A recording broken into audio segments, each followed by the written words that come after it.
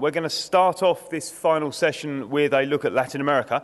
I'm talking about Latin America as a foreign direct investment hotspot for Chinese firms, about the opportunities that that continent presents and also the risks. And to do that, um, we're joined today by Irene Mia. Um, she's the regional director for our Latin American and Caribbean analysis team based in London. Um, prior to working for us in that particular role, she worked as a senior economist and director for the Centre for Global Competitiveness and Performance at the World Economic Forum, and she was responsible for a number of issues around national competitiveness and development. Um, also, the editor of Global Information Technology Report for six years, which is one of the flagship publications at the WEF. Um, before that, she worked for an investment bank in Paris. Um, her research expertise covers a whole range of topics from development and international trade to innovation and ICT competitiveness. Um, she has an MA in Latin American studies and a PhD in international economics and trade law. Um, so, with that, um, Irina, if you could tell us about Latin America.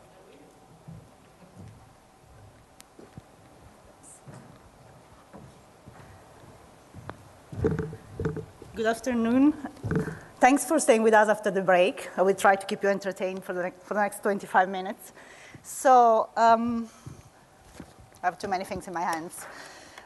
Latin America and China is actually a, for Latin America, it's, uh, it, it's, it's quite an interesting relationship. It's a bit of an incipient relationship because China is not a traditional partner for the region, but it is becoming one of the major, especially for some of the commodity exporter countries. Um, what I'll try to do in this, in this 25 minutes I have allocated is really to give you a general idea of the potential of Latin America as, a, as an investment destination and also as a trade partner. Um, here in the first slide, you have uh, a couple of points, a couple of important points and, uh, and um, uh, advantages for Latin America when it comes to FDI. Uh, so it's actually the slide that you can, I mean, I've, I will, I, will, I will go through all those points during my presentation, but basically what I wanted really to point out is that the region, uh, which used to be quite unstable financially and, uh, and political until 20 years ago, is now, has actually come a long way from that situation, is now a, a, a region which by and large is growing quite steadily uh, with, uh, with very sound macroeconomic fundamentals.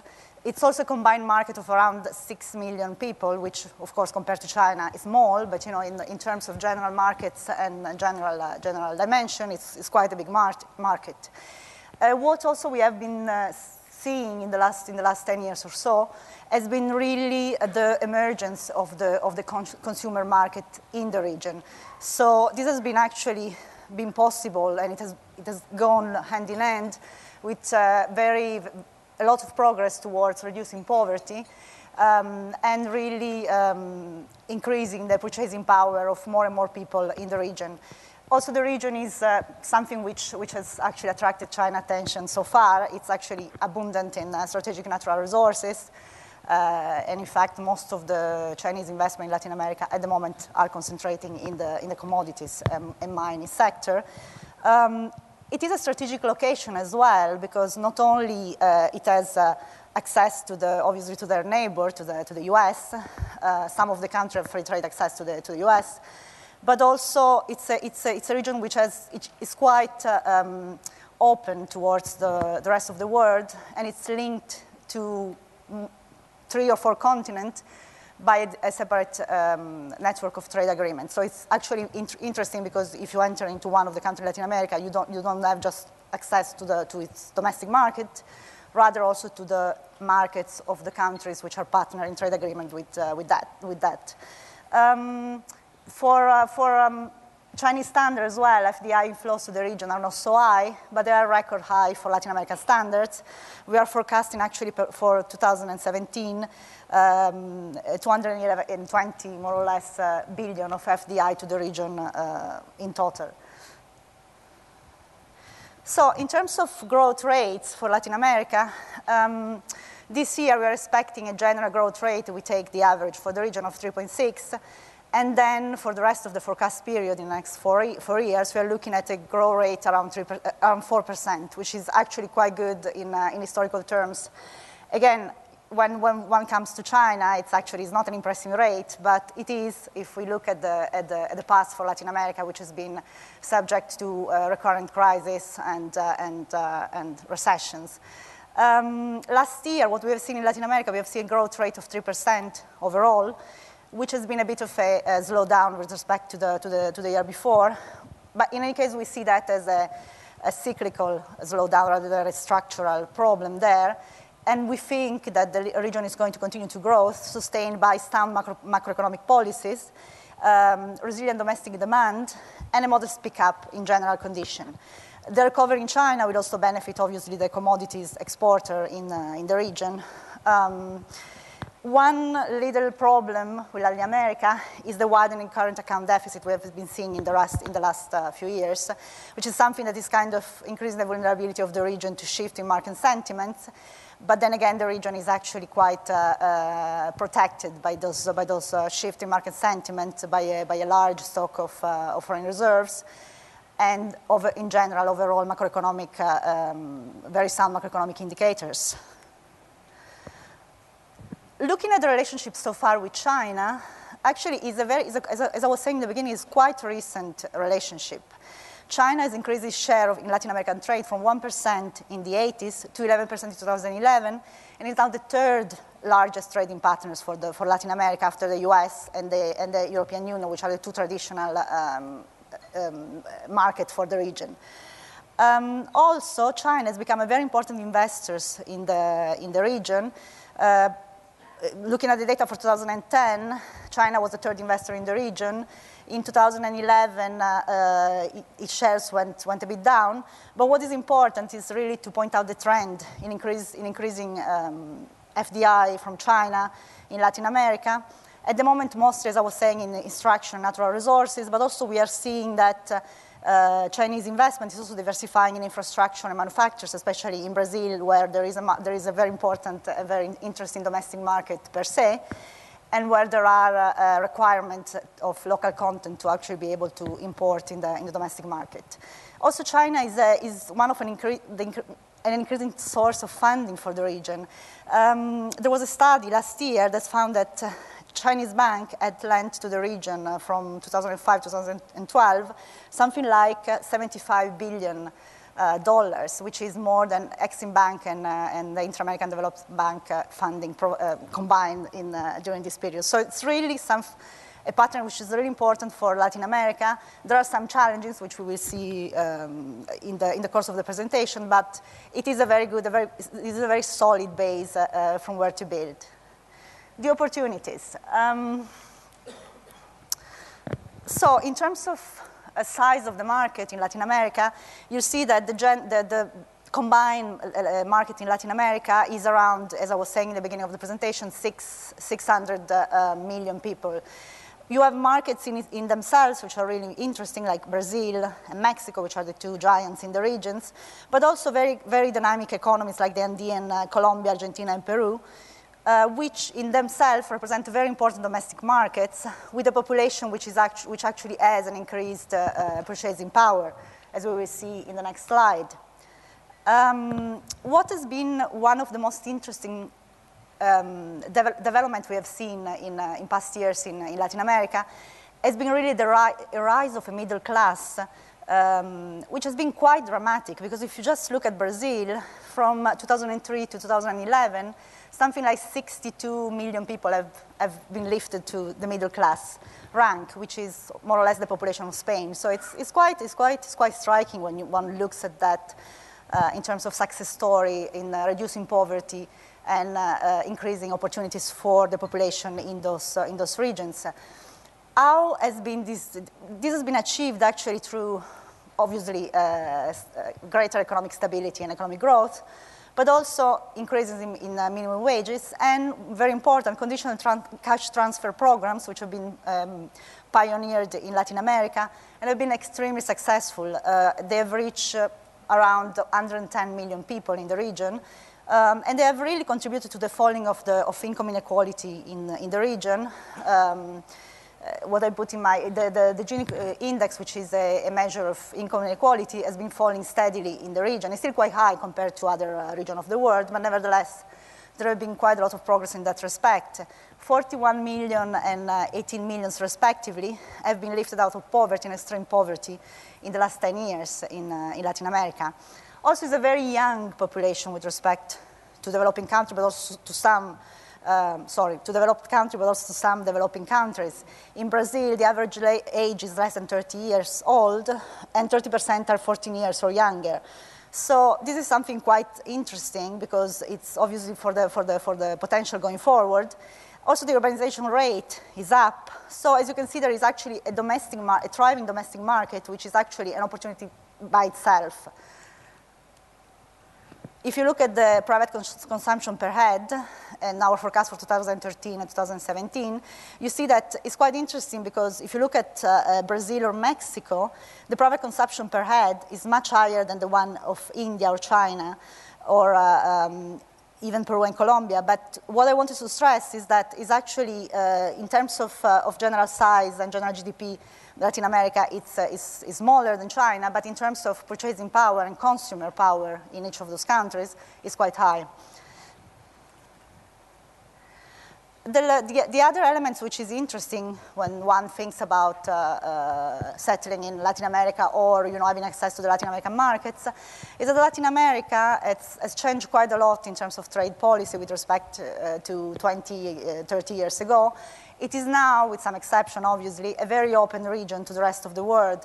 Um, to the rest of the world and also internally. The region is actually integrated by a, by a series of trade agreements, Mercosur in the southern corner of Latin America, the Andean community, the Pacific Alliance, which is actually a very interesting um, new type of agreement uh, putting together um, the Pacific countries of, uh, of, Latin America, Mexico, Chile, uh, Colombia, and Peru, which to really to develop a, a, a, sort of regional value chain, but also to project towards Asia, because that's also their, their kind of natural partner.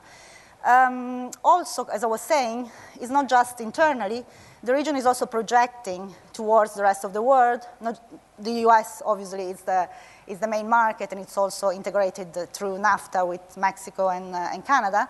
But there's also the CAFTA-DR, which is a trade agreement with Central America and, and Dominican Republic, and also the US has, uh, has, signed last year agreement with Chile, Colombia, and Panama. So it's really a very, a very, it's really integrated into, in, especially Mexico, Mexico, in the, in the global uh, value chain of the US.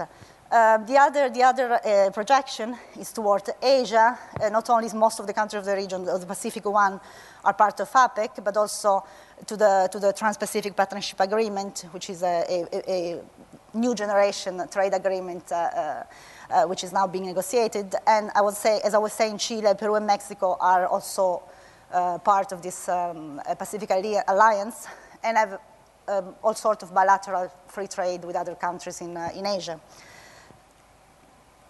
Looking at specific, some specific markets, I kind of looked at a more interesting market at the moment. Um, so Brazil is, is actually part of the BRICS. Um, I, even if, as uh, Robin was saying at the beginning of the, of the conference, Brazil has lost some of its shine, uh, last year it grew at 0.9%, which was the worst performance, uh, the second worst performance after the crisis. Uh, this year we have uh, um, revised uh, downward the forecast already twice, so now we are expecting a growth with 3%, so not really impressive. But it's still a very important and very, a very promising market for, for FDI just for the size of its market. Um, and also for the opportunity for investors, not, not only in the, in, the, in the strategic natural resources, uh, in the energy and oil. Uh, Brazil, it's, uh, uh it's, well, if, if, the, um, if the auction for the new uh, oil field in the pre-salt uh, um, part of Brazil, um, offshore um, in the state of Espírito Santo, Santa Catalina, are awarded, uh, there is the potential for Brazil to, to increase its, uh, its, um, its reserve to 80 billion barrels. So it's something that it's, uh, it's, um, it's quite important for investors because that's an area where Brazil is actually welcoming FDI uh, in order to explore all these opportunities. Also, the agribusiness, it's one of very important, important areas for Brazil. But more in general, if we really look at the, at the, at the FDI, uh, from, the, from an FDI perspective, I would say that the infrastructure is probably the most in, interesting uh, field at the moment. Not only Brazil is actually preparing itself to host uh, two major sports events, the, the World Cup in 2014 and the Olympics in 2016, but the government actually, as part of its efforts to really reactivate growth and ensure the growth is sustainable going forward, is actually focusing on removing um, bottlenecks to competitiveness in the country. One of the main bottlenecks to competitiveness in the country is, is the state of infrastructure. So basically, um, the government is, is uh, investing very much in infrastructure, is, uh, is courting the private sector to invest in infrastructure, and uh, uh, has uh, recently um, set up a program of uh, under 90 billion for private concession in uh, road, railway, sports, and airport up to 2015 to be able to be, to be ready for the Olympics at least, uh, as we don't know whether they're going to be ready for the World Cup in 2014. So in terms of, of challenges for Brazil going forward, um, it's, it's, probably quite similar to China. Now for Brazil, for Brazil to be able to grow in a sustained way, it really needs to um, develop productivity increase in the country. So all these areas uh, uh, related to the, what, they call, what we call the, the Brazilian cost, which is the, the, the poor state of infrastructure, uh, fiscal, uh, fiscal system, which is, very, um, which is a burden, which is very complicated for, for businesses, uh, ease of doing business, all this area needs to be um, needs to be really tackled for Brazil to be able to continue to grow uh, and really fulfill its uh, its potential. Problem is that elections are next year, and the political scene has already shifted towards the election. So we don't expect uh, the, the government of uh, of Dilma Rousseff to uh, really make many progress in, with respect to tackling these, problems, which, which are more structural and require political and popular um, reforms second country I wanted to attract your attention on is Mexico. Uh, Mexico has become now what Brazil was two years ago, so which is good because uh, you know it's good to have a bit of uh, alternance in uh, in uh, in, uh, in the star for FDI. Mexico actually has been is a completely different model from Brazil. while Brazil has been quite close to foreign to foreign involvement and and and um, and trade, only 20% of uh, Brazil GDP is, uh, is accounted for trade. Mexico is 60%. Export represents 60% of, of the country GDP. Uh, it, Mexico has followed a, a kind of export-led and very open uh, development um, model in the past in the past few years. Has become the most one of the most important lowest cost component manufacturer in the world. It has also a very strategic location, geographical location. Um, North America, to which it is integrated, but also Pacific and Atlantic Oceans, North and South America. Um, it's, uh, it's linked by an extensive network of free trade agreements with over 40 countries in three continents. Um, and actually, in the last few years, it really has uh, adopted uh, most of the macroeconomic reform, which made, which put the country in a very, in a very good footing um, going forward. What, what was missing a little bit in the case of Mexico was actually tackling, as in the case of Brazil, the bottlenecks to competitiveness long, long-term growth. Um, what has changed is the new administration of uh, President uh, Enrique Peña Nieto. It's uh, uh actually, its, its first four months, now four, four, five months, have been quite uh, striking. Um, I was personally quite pessimistic when the, the PRI, which is the, the, the, party which has been at the, at the, at power for 60 years uh, before the last 12 years, um, came back to power in Mexico last year. But the president has really been very successful so far in uh, uh, implementing and designing a, a, a structural um, agenda of reforms and has been very successful in reaching out to the opposition, and so far, actually, very important reform which had been blocked for years, such as the education reform, telecommunication reform, um, um, uh, financial market reform have been adopted, which is quite striking, especially in a, in a country like, uh, like, uh, like Mexico, where in the last 12 years, uh, the government couldn't really uh, push through many reforms since the, the opposition was, was being quite ob obstructionist. So we have, uh, we have good we have very, very, very positive outlook for Mexico. Um, Mexico is, we, we, now, we now expect Mexico to, to grow at 3.7% in the, in the next uh, five years on average, but there are upside risks actually because telecommunication and energy sectors are sectors that were quite close to competition up to now, with the opening of those sectors, which we expect in some form, um, there'll be plenty of opportunity. Only the telecommunication uh, uh, reform is expected to add one percentage point to, to, to GDP growth. So it's, uh, it's quite a promising um, country and uh, it's probably going to be the next Brazil, at least for the next few years. Well, Brazil and Mexico have always been in competition, but it seems that now uh, Mexico is prevailing. Uh, Colombia, it's uh, now going now to the, more, to the, to the smaller market. Uh, Colombia is another success story. Overall, is the C of CIVETS, which is our uh, acronym for the next emerging markets after the BRICS. So it's actually a country which only 10 years ago was, was considered almost a failed state with, with very, very, very serious problem in terms of uh, political stability. There was a civil war um, going on, almost a civil war. And the, the country has really changed completely in, uh, in 10 years. Um, it's one of the most open countries in Latin America.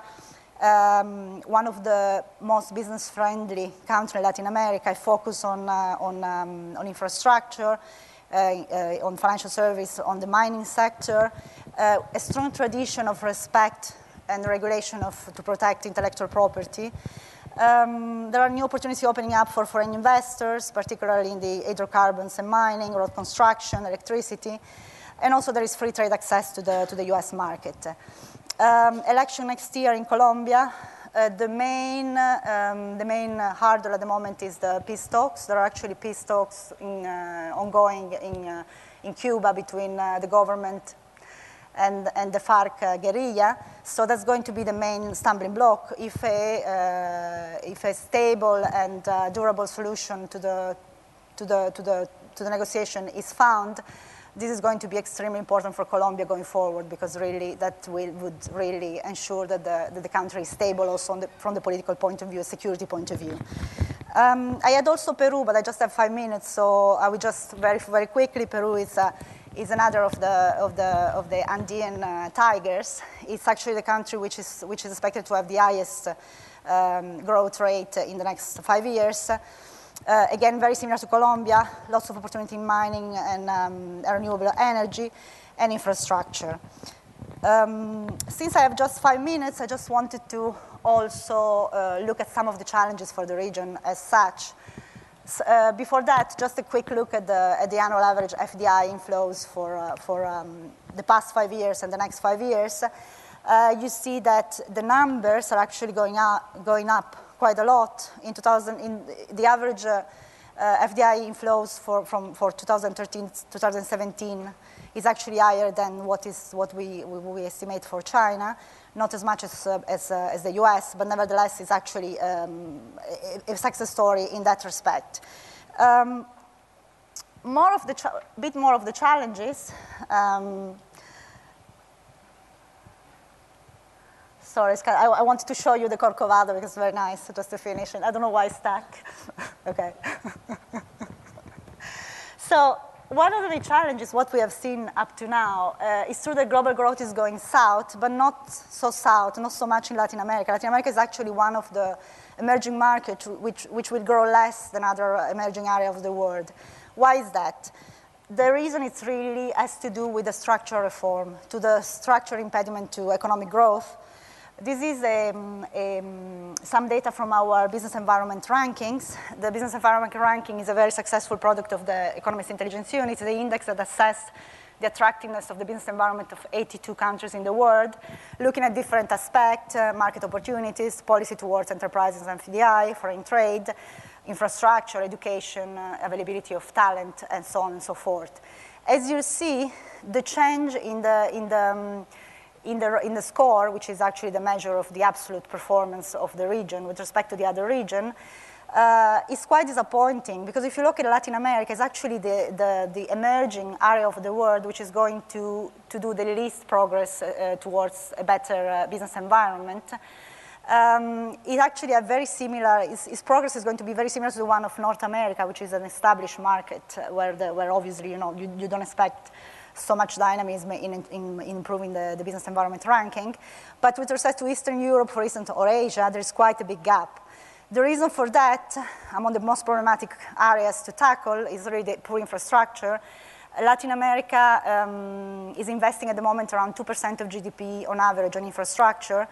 Uh, this compared to 10% in China or 6% in India. And some study from the, from the ECLAC, from the Economic Commission uh, uh, for Latin America of the UN, found that for the region to be able to continue to grow, um, 5% of GDP have to be invested in infrastructure. So there is quite a big gap still to reach those levels.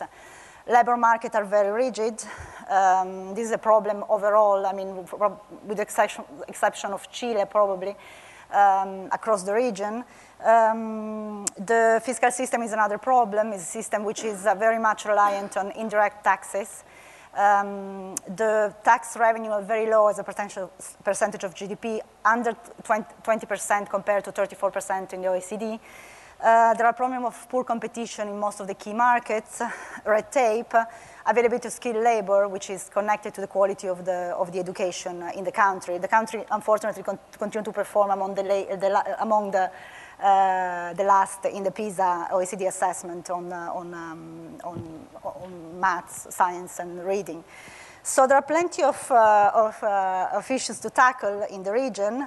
Um, but nevertheless, you know, it's, it's, uh, it's a region which has, shown, which has shown its resilience. And just to sum up the investment pros and cons, among the pros is the prudent fiscal and monetary policy, uh, the growing domestic market, which is in itself a success story, having investment in infrastructure, uh, therefore lots of opportunity in infrastructure for foreign investors, standard well functioning banking system.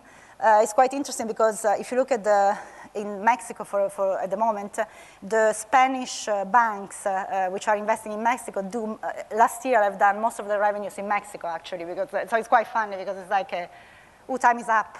God, let me just finish this uh, a dynamic private sector, and also the, what, what, I was saying is deeper south-to-south trade and investment links. The cons, shortage of uh, skills and uh, connected to the to low level of education, rigid labor market, crime and corruption, I haven't really touched, but remains a big problem in the region, inefficient bureaucracy, and underdevelopment infrastructure at the time. And with that, um, oh, that's quite interesting. I, that's my last slide as well. So with respect to um, China and Latin America, the, the challenges, opportunities. The challenges, especially on the Latin American side, it's really the fact that so far Latin America it's uh, it's uh, it's actually uh, running quite a big um, trade deficit with, uh, with, with China, and also the type of trade relationship between China and Latin America is not a south to south; it's more of a north to south pattern, whereby China exports manufacturers and Latin America import commodity to, to China. So this is not very good. I mean, for China, it's probably quite, quite, uh, quite okay, but for Latin America, it's not very good. And really, are, I think the effort is, has to be made for a, for a further trade diversification um, towards more value-added products. And, uh, and this is something which could be quite positive also for, for China because it's also a way to develop really the, the joint initiative and business initiative to promote intra-industry trade and also opportunity for more cooperation in innovation and human capital, which is something that is important for, for both countries and both regions. And with that, I finish. If you have any other questions, I think I don't, we don't have time for questions, no? We do, okay.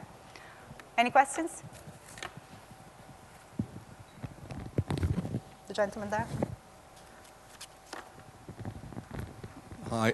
The question is about whether Latin America is uh, taking business away from China as far as the trade uh, with the US is concerned. And uh, I understand the current administration in the US is talking about uh, near shoring, buying from somewhere near, nearby instead of uh, uh, the, the, China that's uh, far away. And I wonder if, if, if you've seen any trend in that regard. Well, um it's quite interesting because from my perspective, kind of, I'm kind of more uh, looking at the Latin American part. Actually, we have the opposite complaint from the Mexicans, say, oh, the, the Chinese are actually stealing all our market share in the US. What is true and what we have seen in the last few years is it's actually uh, Mexico is becoming and has the potential to become more of a competition for China because of what you mentioned, the, the, the closeness to, to, the, to the US, and also the fact that the labor costs are actually, now the, the, the margin between Chinese labor cost and, and Mexican labor cost has, has, shrunk quite a lot. It's about 30%, I think. So, so yeah, I think there is definitely this, uh, this, uh, uh, this risk for China. And it's true that China and Mexico actually are very, simi very similar uh, industrial structures, so they do compete for the same, uh, for the same markets. It's quite, it's quite interesting to see that Mexico, in any case, is actually reaching out to, to China. Um, um, President Peña Nieto has been recently to China to try and develop other form which in, involve trades, but also trying to really um, uh, attract investment into Mexico. Uh, because also the Chinese, I guess, they can, they can use the, the proximity to the, to the US market to serve those markets. So I think it's, there are lots of possibility, but yeah, it's, they, there are definitely two countries which compete for the same markets and in the same products. Thank you. Thanks. Any other questions?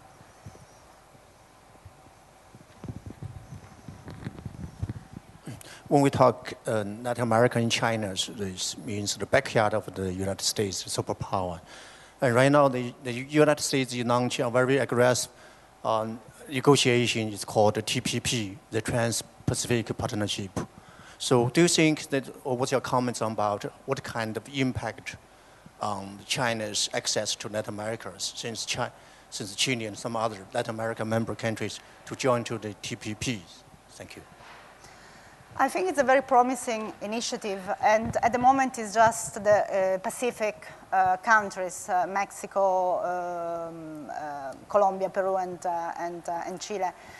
Um, this is going to be quite interesting because, again, it's going to put together in, a, in an agreement which is going to be a next generation agreement, so supposedly going to be much more comprehensive in scope than, you know, the traditional trade agreements. Country from Latin America and country from, from Asia.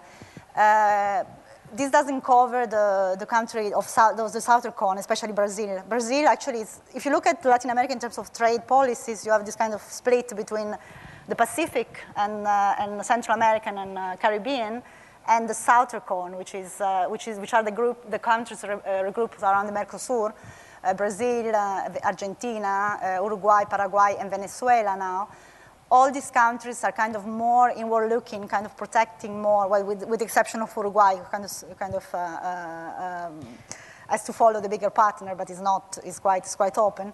All those countries are, are more inward-looking, and what is interesting, if you look at the, at the yes, if you look at the, uh, at the growth rate of this country, you see that the countries which have been more open, especially more open towards Asia, are the ones that are actually doing much better in terms of economic growth.